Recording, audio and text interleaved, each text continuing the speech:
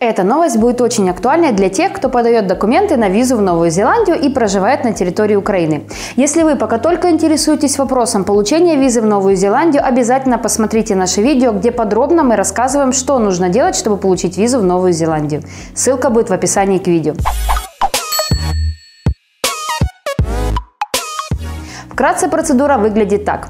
Вам нужно заполнить анкету, подготовить пакет документов, соответствующий цели вашей поездки, и подать его онлайн или в бумажном виде.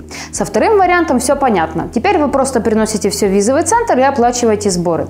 При первом же варианте раньше возникала сложность в том, что даже после загрузки всех документов онлайн вы должны были предоставить свой паспорт в визовый центр, а для украинцев это мог быть Лондон или Москва, например, которая намного ближе.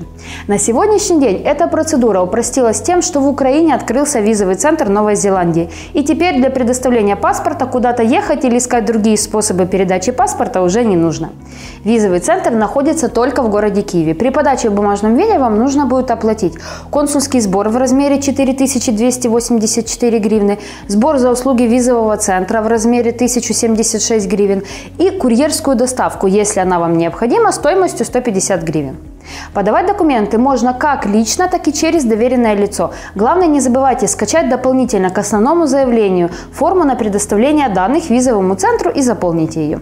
Маленький лайфхак для тех, кто подается онлайн. В визовом центре вас попросят подтвердить, что вы действительно оплатили консульский сбор. Хотя бумага с просьбой предоставить паспорт приходит только после его оплаты, но визовый центр физически эту оплату не видит, так как она направляется напрямую в миграционную службу. Забавный нюанс, не так ли? Моя рекомендация рекомендация взять в таких ситуациях с собой на процедуру предоставления паспорта выписку по вашей карте, которой вы оплачивали консульский сбор, где будет видно эту конкретную транзакцию, дабы избежать недоразумений и, возможно, даже вашего повторного приезда на подачу документов. Все остальное осталось по-старому. Ваше заявление будет передано офицеру, который после принятия решения отправит его вам на электронную почту, указанную в вашей анкете. Если виза одобрена, вы берете свой паспорт и отправляетесь в поездку. Но я обычно рекомендую брать с собой распечатку визы, так как авиакомпания не имеет доступа к информации про визу и может не посадить вас на рейс, если вы не предоставите визу в страну конечного следования.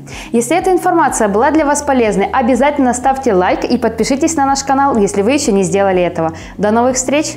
Платить консульский сбор в размере «Мне нужна ваша помощь», потому что дальше пошли цифры, я не написала их, как в прошлый раз, буквами. Из карика бы еще предложили. Что вы так дешево?